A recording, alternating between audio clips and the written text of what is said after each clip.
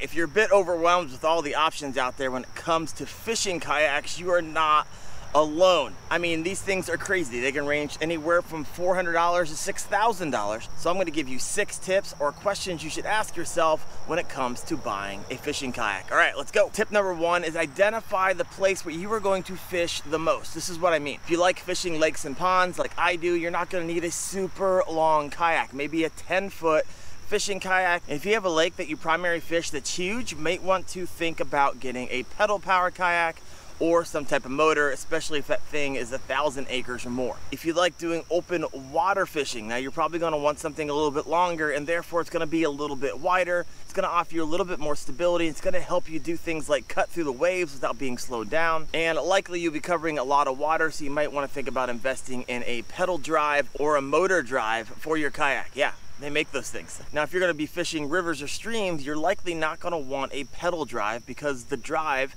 sticks out of the bottom and most rivers and streams, you're gonna be getting into tight spaces, you're gonna be in shallow water, and that's gonna be dragging potentially even breaking your propeller. So for rivers and streams, a shorter kayak and paddle powered might be perfect for you. Tip number two, asking yourself, do you want a sit-in kayak, sit-on kayak, or inflatable kayak? Let me run you through some pros and cons of each. So first, let's talk about the sit-on kayak. That's what I'm on right now, and this thing is super comfortable. And there's a lot of pros to this. One of the pros, it's gonna be super stable.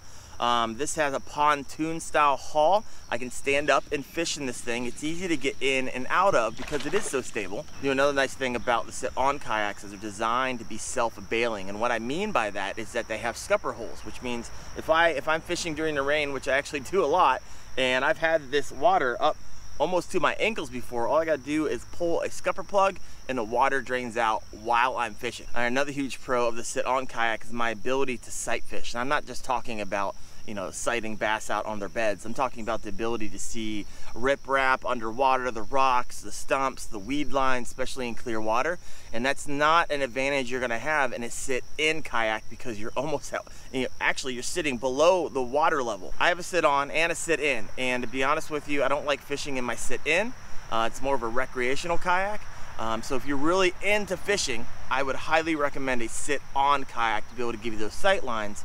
It's gonna give you the advantage in catching more fish. And there are some cons. I mean, being up off the water, you are fully exposed to all the weather, including the wind. If it's cold outside, you're gonna feel the full brunt force of that. Another con, unless you just love spending money, is these things are a lot more expensive than your sit-in kayaks. And so uh, once again, if it's a hobby and something that you love, maybe something you want to invest in. And a con to one of these things is that it's, since it is bigger and heavier, it's gonna move a bit slower than your sit-in kayak. All right, let's talk about our sit-in kayak. All right, let's talk about a pro. Um, being that you're down in a hull, uh, it's going to keep you warmer and it's going to keep you more out of the weather and out of the elements. So that helps out a little bit. All right, another con is you're not able to really sight fish. I was recently in my Sun Dolphin Aruba 10, which is a sit-in kayak, and I was just guessing when I was casting, trying to find holes, and it was really, I just couldn't wait to get back on my sit-on kayak. And so something to consider if you're considering the two. Yes, they are cheaper, but it's going to be a detriment to your fishing and your ability to be able to sight out and read the landscape. Oh, the pro to a sit-in kayak is going to be faster. You're going to be able to accelerate faster because they are lighter. The con though on a sit-in kayak is they're not going to be as stable. I mean, most of those sit-in kayaks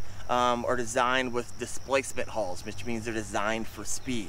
And so you're not gonna be able to stand up and fish. Another con is that it's not self-bailing. I mean, in fact, it's kind of a problem because if you accidentally flip one of those over, uh, they start filling up with water really fast. And another con, they're very difficult to get in and out of. They take a little practice and trust me, I've seen a lot of guys and girls flip their kayaks trying to get in a sit-in kayak. All right, let's talk about inflatable kayaks. And if you're limited on storage, this may be perfect for you. I recently saw someone, asked them how they liked it, and they're like, hey, it's the only thing that fits in my apartment. So if you have limited places to store things, because these things take up a lot of space, that might be perfect for you. Uh, a con is that they're gonna be less stable because they don't have a pontoon style hull. Con, they're not self-bailing. Pro, they're gonna be cheaper than your sit-on and sit-in kayak. Well, here's a pro. Some of them actually fold up like a backpack. So if you like fishing those hard to reach places where there's no boat ramps, an inflatable kayak kind of acts like a belly boat. So if that's your jam, inflatable kayak might be perfect for you. Another con is the wind. You're gonna be blown all over the place if there's any amount of wind on the water that day. And another con, of course, it is inflatable. And when you're working with treble hooks and some of your lure has double hooks, all it takes is that fish with that treble hook to give a jump, it's gonna hop into the bottom of your boat and start thrashing around. And before you know it, you got a slow leak in your inflatable kayak. All right, tip number three, do you want a paddle powered, pedal powered, or motorized kayak? I mean, your pro to the paddle is that you're gonna be able to sneak up on fish and be super quiet versus the motorized and the pedal. But some of the cons to the paddle power kayak is that you're gonna be slower, you're gonna have limited range, likely gonna be always sitting, gonna be hard to troll, and let's be honest, if you're paddling for hours on end, you're gonna have some fatigue. And if you like fishing, you're always going to have to be adjusting yourself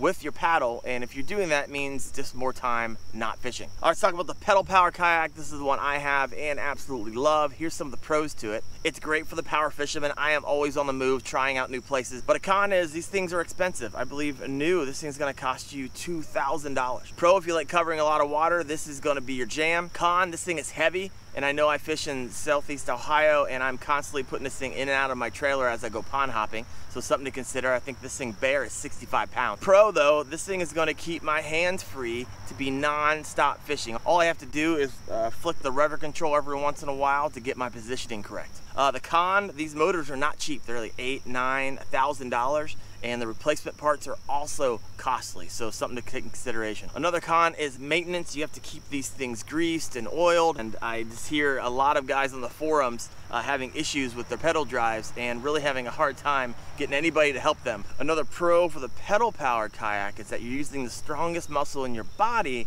to power your yak. And if you're out for hours on end, you are going to get tired also with your pedal power kayak. And let's talk about the motorized. Of course, you're going to be able to cover a lot of distance and get to your places and your hunting holes quicker. Another pro is that you're going to be able to fish places that a lot of other kayakers can't even get to because they don't have time. If you fish a big lake with only one or two boat ramps, most kayakers won't have time to get to the other side of the lake and fish some of those honey holes that are uh, under pressure. So having a motorized kayak is going to give you that advantage. Pro, the only fatigue you're going to have is flicking that switch on and off. Con is though you're to have to do battery charging and these things are expensive. Last time I looked at a motor for my fishing kayak, it was around $1,200. Pro is that you get to that honey hole before anybody else does in the morning. Another pro is less fatigue. And of course, if you like to do trolling, you can do that on a pedal power kayak, but you can also do it effortlessly, especially as you're going to and from your honey holes by adjusting the speed on your motorized kayak. All right, guys, if you're getting some value, please hit the like button. Let's move on to tip number four. All right, let's talk about stability. Of course, the wider your kayak, the more stable it is going to be because there's more surface areas. So advantages to a wide, stable kayak, you're gonna be able to stand when you're fishing. Con is that the waves and wake is gonna slow you down. Pro is that it's gonna be more comfortable for you.